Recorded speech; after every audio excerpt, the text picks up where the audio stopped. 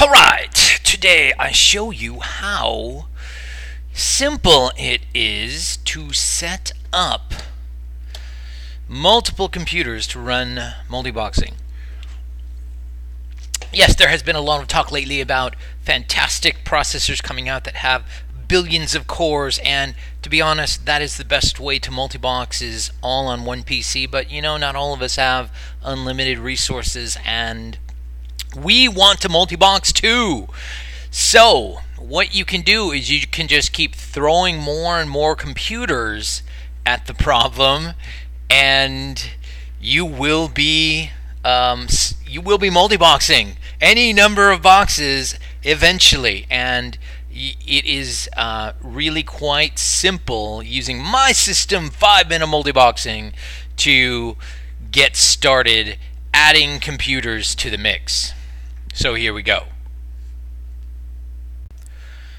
Alright, the first thing that you need to do is connect your HotKeyNet sessions to each other. And this is about the most complicated thing you're going to do today. The HotKeyNet tool has inherent and organic multi CPU um, client server functionality. So go to on your main, go to options, connection settings. Are you connecting PCs? Yes. This PC is a server. Um, leave the port the way it is. I think it's set at 1025 by default. It kind of tells you what this PC's IP address is. That's cool. Done. Apply. Done. It'll say this will take place when you restart the program. Go ahead and restart it. And um, then go to your second computer and your third computer and your fourth computer, how many, however many you have. I'm using TeamViewer in this demo to show you the uh, desktop of the second computer as we're running along. You don't need TeamViewer. Uh, you can use TeamViewer for other purposes. It's a very useful tool, but um, you don't need TeamViewer for this at all. Uh, what you're going to be doing is going over and doing things on your second computer when you see me working on the the TeamViewer computer. So I'm blowing up the second computer right now. This is the second computer. Um, this is HotKeyNet also. Now when you run HotKeyNet, guys, when you run HotKeyNet, here's what I want you to do. I want you to right mouse on it, right mouse on the shortcut and say run as administrator. You have to do this. You have to make sure HotKeyNet is running as administrator. Otherwise, it'll sit there, it'll act like it's doing something, but it won't pop any windows because it doesn't have permission to pop windows. So keep that in mind if your windows aren't popping. So we're going to go to Options, Connection Settings on the remote computer, one of them. Are you connecting PCs? Yes, this PC is a client. Server's IP address. Well, that's the IP address from the other computer you saw in that window. Let's go back. Options, connection settings on the original P. This. That's the server's IP address. And back we go. Second computer.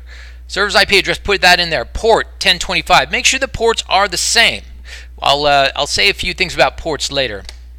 You don't have to understand it right now. This PC's IP address, okay? Memorize that. You're going to need that later. So, your server doesn't care what this PC's IP address is. This PC will tell the server what his IP address is. But we are going to need to know all of our side computers' IP addresses in the end, and I'll tell you why in a little bit. Okay, so you just hit apply. It'll say changes will affect when you take effect when you restart the program. You restart it with admin, and this is what you should see. This is the magic. All right. This client is connected to the server, and it shows the server IP address. And um, if you go over to your server, your main computer, it will say this server is connected to one client. Now you can add as many of these as you want. All right, you can add as many computers as you want. I don't think there's a limit. So, so have fun finding every freaking computer in your house and throwing it into the multi-box army and adding adding um, as many processors as you can to the mix. Okay? So now you've got HotKeyNet configured. They're, con- they're connected. You can, in theory, multi-box with these two computers um, if you know how to do it. But you don't have to know how to do it. All you gotta do is go to your tune list, and I've created some tunes here for the purpose of this demo, um, and set up your tune list in multi-box fashion, in multi-CPU fashion. All right, notice the box lines are the same as, as you usually see them. By default, everybody gets an M at the end of their name, right? You know, that's the basic grade, Control Alt M. Now notice there's something a little different about my um, multi-box. And in fact, you know what? This is wrong. I'm I switched to 1K, so I'm going to change this to a 1K monitor. I switched to 1K to make the words bigger. So, account, password, character name, role, and raid letter. Now notice, I put a command here that you don't normally see. Computer. Which computer? By number. And then the IP address of that computer. If I had another computer, I might have a line that says this. Computer 3 is IP address 192.168.0.42. All right. Right now, we're only going to do computer two computers today. Now, notice I've got 10 people in my raid, but I put a 2 after some of the raid letters. That means put those guys on computer 2. Put those guys over here on the second computer. As simple as that. You just put a number after their raid letter. If I had a third computer, that would be a 3 for some of them. All right? So then you go to your World of Warcraft directory.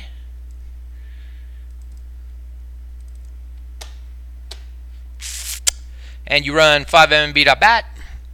Answer yes to the questions. And then reload. Boink. Reloaded. Couple of notes. You have to use the slow 5mmb.tcl on the Discord server. All right, don't download the fast one. It doesn't work with multi-CPU. You download the slow one. Second, you do have to reload the script whenever you make changes. All right, you should know that. Um, so now that we have loaded the script, we are ready to hit Control Lock on and try and pop open our 10 windows. Control Alt M.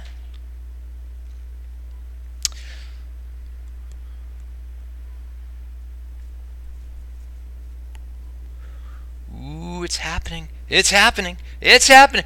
Somebody's coming. All right. This looks really good.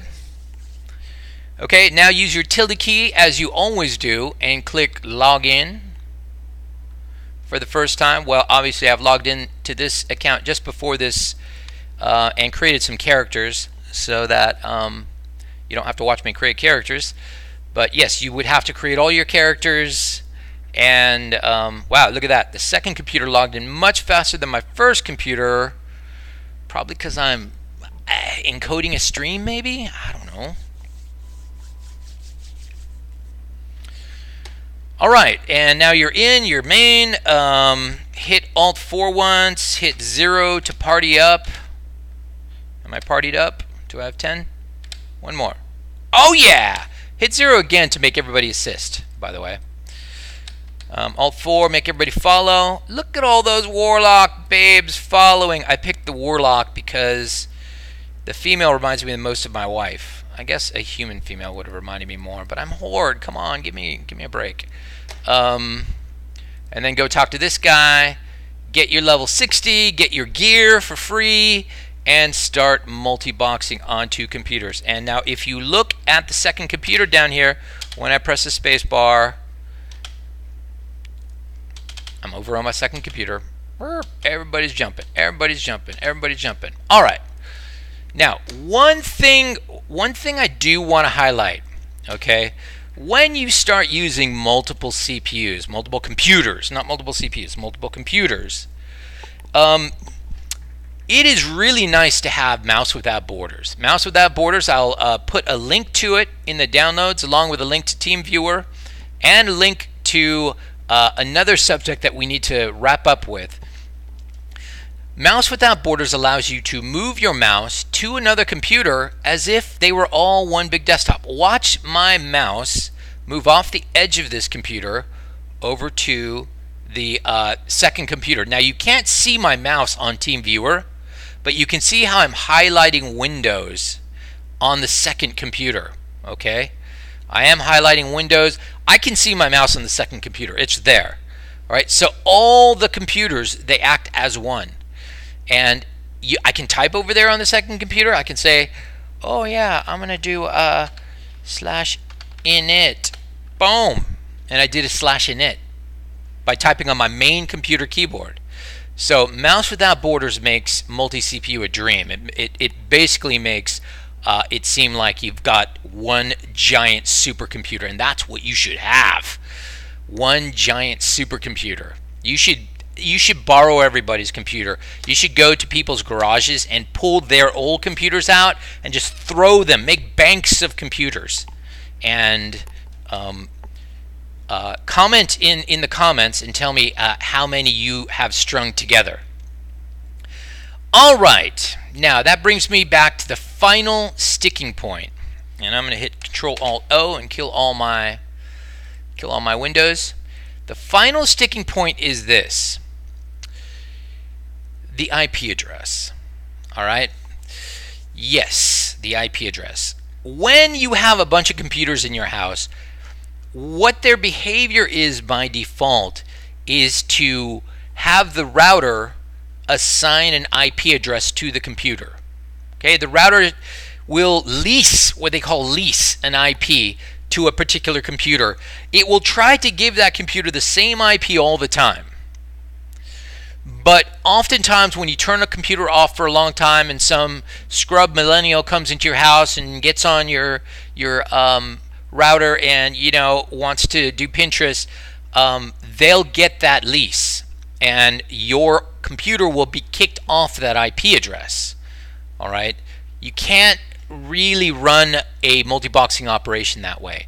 You can't keep trying to uh, uh, keep up with um, what the IP addresses are on the other computers, and so I need to tell you how to permanently set the IP address on your computer. Now I'm going to provide some links below that show you how to set what's called a static IP address. Static means unchanging. To set a static IP address on any computer. I don't set a static IP address on my main because my main is always on. It never is going to lose its lease. But my side computers, they get shut off once in a while, and often, and they will lose their lease and they will change. So I always set a static IP address on my side computers, and I'm going to show you how to do that, kinda. I don't really know if I'm going to show you how to do that actually. Okay, let's go through TeamViewer to the second computer. All right, now we wouldn't do this in TeamViewer. I'm just doing this for the purposes of the broadcast. Um, but we are going to pretend to go to the second computer and set up the IP address. Um, so we go to, normally what you do is you go to the start button, right mouse on computer, properties, um, go to device manager, um, network adapters, double click on it, and then you go to uh, I think it, uh, it, it, advanced. What am I doing wrong? No, you don't do this. You don't do this. I'm I'm totally forgetting how to do this. Uh, you go to er, er, er, network control panel. Let's follow the guide below, guys. Gosh, it's been it's been a while since I've done this, so and the Heimers is kicking in. Uh, where's my mouse? Okay. Boink. Control panel. Um, network and internet. That's what I wanted. Network and internet. Um, view network status. View network computers and devices. Is it computers and devices? I think it's computers and devices. No. Network and sharing center. That's what it is. Change adapter settings. That's where I wanted to be. Forget all of that other stuff, man. I didn't know what the hell I was doing. Uh, go to properties. All right, we made it. So you're going to double click on the uh, TCP IP IPv4 and you're going to do this shit. All right? Change all this. Now, the one thing you got to know is what your default gateway is. You can do that pretty easily by just doing this. Go to start, get the command window up by saying CMD. Ah, TeamViewer didn't like me hitting the scroll lock button. CMD, get a command window up. All right, and then just do IP config uh, slash um, show. Okay? I'm not going to do that for you right now because then you'll see my actual IP and I don't want to show you that. So um, you're not going to get to see my IP, but you will be able to see what the uh, default gateway is um, in your little local area network. So set all this up, just like this, hit OK, reboot your machine, and boom, you got a static IP address. And um, in the link below, I'll also show you the Windows 10 way to do it, and um, you will be uh, up and running. All right, oh, oh, those are the things right there. Those are the things. Do do do. Okay, uh, hope this helps. We're going to um, talk next time about creating links in Microsoft Windows so that you only need one smextend.lua to run all of your side CPUs.